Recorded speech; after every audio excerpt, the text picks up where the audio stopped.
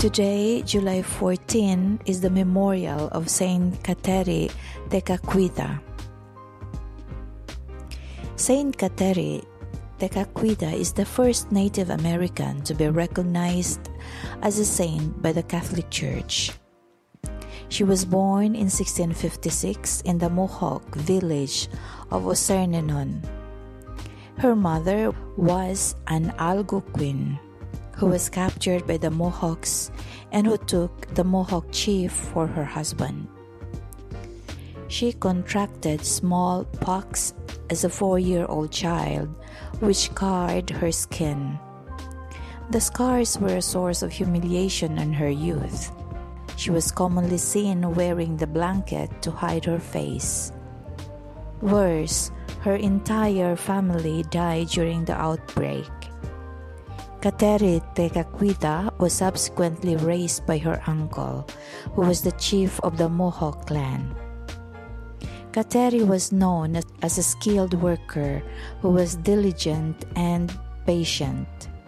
However, she refused to marry. When her adoptive parents proposed a suitor to her, she refused to entertain the proposal. They punished her by giving her more work to do but she did not give in. Instead, she remained quiet and diligent. Eventually, they were forced to relent and accept that she had no interest in marriage. At the age of 19, Kateri Tekakwitha converted to Catholicism, taking a vow of chastity and pledging to marry only Jesus Christ. Her decision was very unpopular with her adoptive parents and her neighbors. Some of her neighbors started rumors of sorcery. To avoid persecution, she traveled to a Christian native community of, in south of Montreal. According to the legend, Kateri was very devout and would put thorns on her sleeping mat. She often prayed for the conversion of her fellow Mohawks.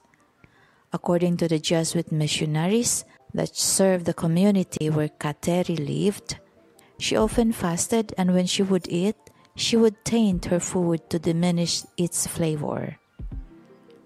On at least one occasion, she burned herself.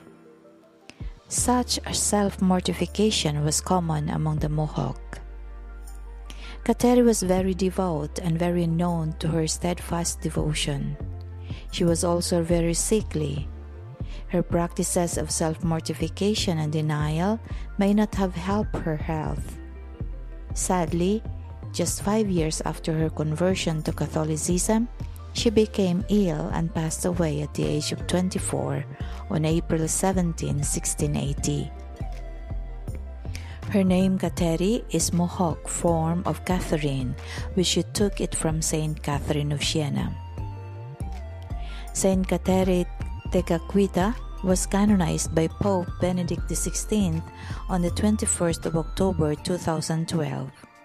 She is the patroness of ecology and the environment, people in exile, and Native Americans.